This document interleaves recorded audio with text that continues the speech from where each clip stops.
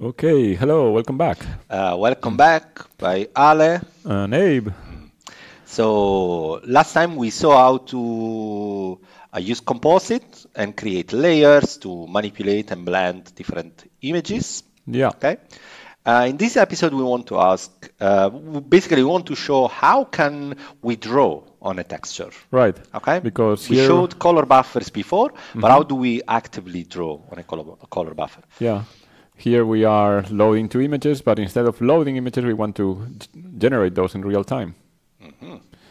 So Good. for that, uh, we can, uh, you can take a look uh, on the guide to uh, something called render target, and their targets. And the, So the idea behind this is to create mm, an external canvas and draw on this canvas that contains a color buffer attached. Okay. I think in some environments they call it like off-screen buffer. Exactly, off-screen buffers. Yeah, yeah. Yeah. Mm-hmm. And you can see here how this is constructed, mm-hmm. and it contains a color buffer. Mm. Already that we have seen from previous episode. This is at basically the container of a. Uh, it's a texture. Is Yeah. how Yeah. OPENRNDR deals with the texture. Okay, super. Mm-hmm. So let's make here. RT for render target. so, I have here some automatic. This shortcut for RTCB okay. uh, width and height. Uh, I was doing a funny kind of import here. I don't know why it's added this beginning, but we don't need it. Render target. and call it RT. Ah, right. RT equals Perfect. Okay. uh, this and import. So this will, will create an off-screen um, canvas of size, the width and height. Very convenient because if we change width and height, Yeah. we have In some cases, you, I will just mention it, uh, you want a depth buffer. this is the, for instance, when we want to use 3D or even Or- shapes. Yeah, if right? you're gonna draw Exactly. contours and Exactly. yeah, Yeah. Or we can start. It will tell you if it if it if you need it, then it will complain. Yes, exactly. Perfect. okay, so now suppose we want to draw a circle on this uh, off-screen uh, canvas. What right. do we do? Uh, so we can do drawer isolated with target Mm-hmm. RT. Uh, this means in this block we are going to be drawing stuff into this uh, render target Mm-hmm. and in this color buffer. Yeah. And then here we can use our usual approach. Mm-hmm. You can mention this drawer. Mhm. You don't need to. You don't need to because if you notice here, we are already in a drawer. Mm-hmm. So we could just say circle. And, and do I have these? No. Drawer. Oh, bounds center. yeah. I like using so this. remember that dot bounds provides a rectangle that has the same uh, width and height of the screen, basically, and center provides a vector that is the center Yeah. of the screen. Otherwise, we the classical approach Mm. might be with maybe times 0.5 Mm-hmm. and height times 0.5. This is Exactly. Super. yeah. okay, so now Let's fill these. Uh, let's color this circle pink, though, pink. Yeah. Uh, Why not? fill is pink. and with no stroke, no Uh, contour. I think I did. I have a. I have some shortcuts, but not here. Mm-hmm. Stroke is null. Is null. Super. Um, Okay, so now we like w- what we have done. We have created a circle inside on the buffer attached to the render target. yeah. So intuitively, we should be able to uh, draw as an image this target. Okay, let's let's do this. Um, I was thinking of to replace this image here Ah, and call it uh, because we have the render target, yes. and then we can access to the, the color buffer Mm-hmm. uh, 0 And why are there numbers? It's because uh, you can have multiple yeah, color buffers. A render target could- Exactly. could have a bunch of textures inside, Mm-hmm. and this way, uh, you just wanted to make the minimum change to the program. Mm-hmm. So here, instead of loading an image from disk, Exactly. then we are saying instead look at this color buffer we just painted on. Mhm. Perfect. And Okay, so now we should be able to see a circle somewhere at the center, Mm-hmm. hopefully. Yeah. Yes. oh, that's that's a nice cover of like an album, no? It's like a red moon. Yeah, exactly. It's pretty cool. Yeah. Okay. But now we could also maybe try to do uh, something more, something like suppose we want to. The, the point is that uh, similar, we have not showed yet how to copy.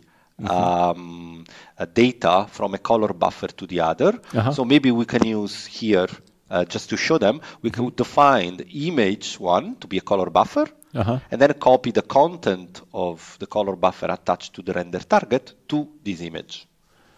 Okay, so image is going to be a color buffer of width and height.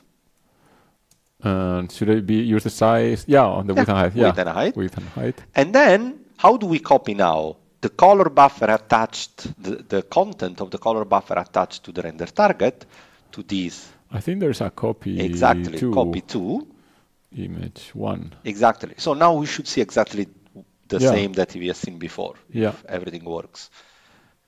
Yes. Yeah.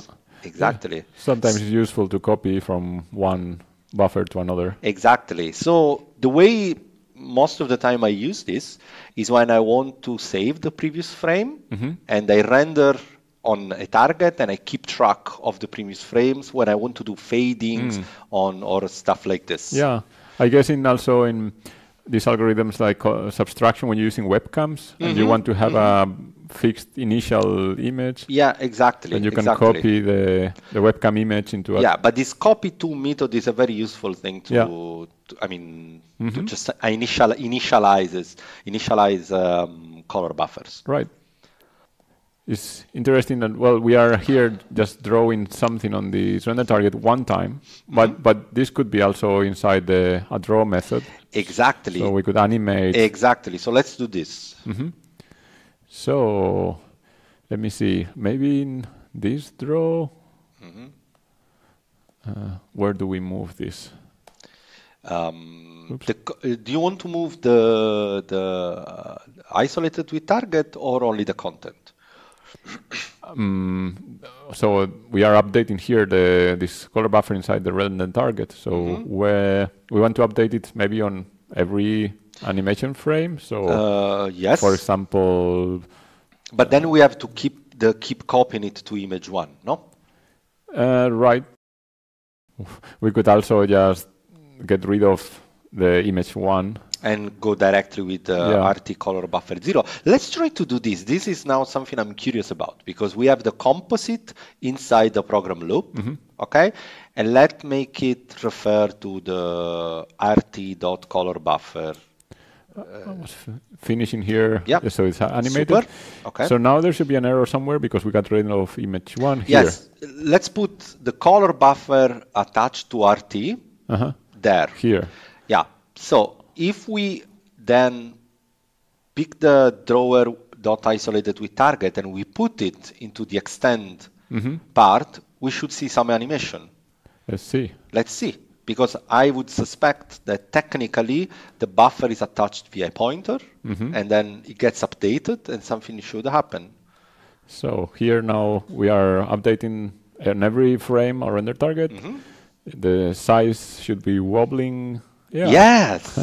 so you see that here something Ha. beautiful happens. But look at one thing. We forgot to use to clear. clear. Exactly. So it's basically accumulating, Yeah. and uh, it's just a a, cir- a pink circle there. Yeah. Okay, let's put clear. Uh, clear.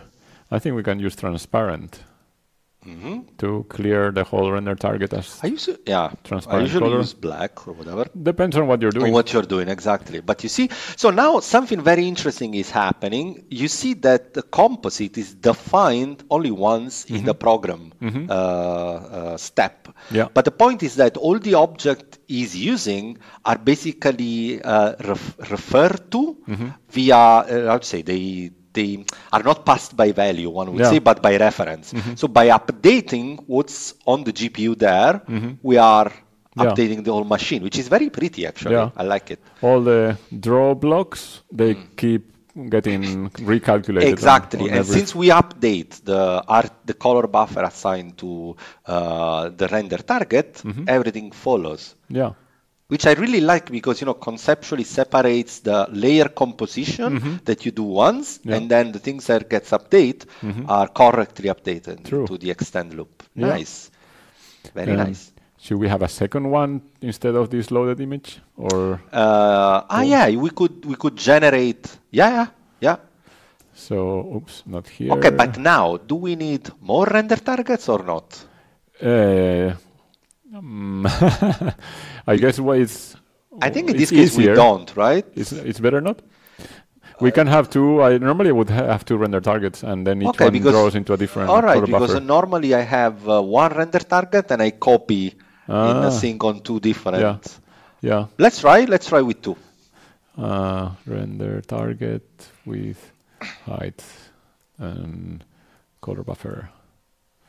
So now, again, I'm gonna do the same. I'm gonna get rid of this image 2 Mm-hmm. and then we will use here rt2 Mm-hmm. dot color buffer 0 Uh, I think that's ah well here also because we use this one twice. Mhm.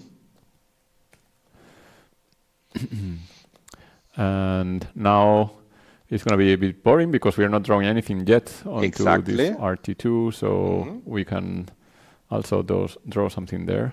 I think we can copy the whole block, right? Yeah. Yeah. Okay, so I have a question. Mhm. I've picked through the auto completion and it has isolated with target and isolated. What's the difference? Mhm. So isolated, yeah, that's. Uh, I'll just draw it, make it here to know what we're talking about. Isolated. This is a very, very convenient method, um, which you would in other frameworks you would type push and All right, so it's for the transformations basically. transformations, Yeah. styles, styles, uh, anything that matrices that yeah do- changes. yeah, changes. So okay. if, if here I would use translate, for example, right. To displace the coordinate system. So it's isolated for that Yeah. call at that time. Mhm. That's why it's called isolated. Yeah. And isolated with target is that it's isolated, but it also has a target. Exactly Okay. the same, but but But- but, also it's drawing not to Yeah. the main buffer, yes, but to a this specific uh, one. provided one. Okay, super. Yeah, yeah. Let's see. Uh, so I, I want to draw something. RT2. The Sorry? second one has to. has ah, right. yeah, on RT2, and we want to draw something different here. Oh, Let's draw. Let's draw a rectangle Yeah. and make it rotate. Okay. So, well, I'll just start by clearing. I will Okay. translate to the center of the screen. Mm-hmm. Uh, drawer, Mm-hmm. drawer bounds center. Then we Mm-hmm. Then can we rotate. Yeah. Uh, it's in degrees, Yes. so maybe seconds times 10 Yeah. to I make it a bit faster. enough. And then we can draw a rectangle. And At zero. Uh, right. Okay. But the tricky thing, well, we want it centered. From from center. Right, so I can create a rectangle from Exactly, center. From center. And here I would type vector to zero, so Mhm. it's on the center. And then you need width and height. We need width and height, so I'll make it irregular so we can, yeah, notice. Mhm. Uh, we should add it maybe some color. Uh, I don't know. Is it green too terrible? We'll, we'll discover. green, okay. Uh, that's something. Mhm. Or we can try run this and see what happens. nice. We have not cleared though, yeah. right? Right. And I think it it's interesting because it's drawing a black border, Yes. uh, yes. but we ha- inverting the color, so it's, it's Yeah. confusing. But So let's Yeah. first clear the. a clear, transparent, Mhm. and yeah, now it doesn't leave those trails anymore. Mhm. Uh, We can see that this is basically the outcome of this subtract Yeah. algorithm to Mhm. the. Okay, so in this episode we have seen how to draw on uh, an off-cam, uh, say, an, an uh, external buffer. Mhm. This I have to say is something that almost in every code I do. Yeah. I think nowadays there is no piece of code that I write that doesn't have a render target. It's very Uh, common. It's yeah. very, very, very common. And we have seen how this can be combined with compositor. So Mhm. in the way we have built the, the code here, the compositor is defined once and for all. It gives the structure of the layers, and then things gets up, get updated automatically in the extend loop once we, you know, keep drawing. Remember to clear Yeah. uh, in the in the extend loop. Right. Okay. So I think it's a good overview of render target and drawing. and drawing. So in the next episode, we will have some fun probably. With, yeah. Let's experiment Let's with all experiment these a bit and uh, things we've yeah. been doing. So see you there. See you in the next one.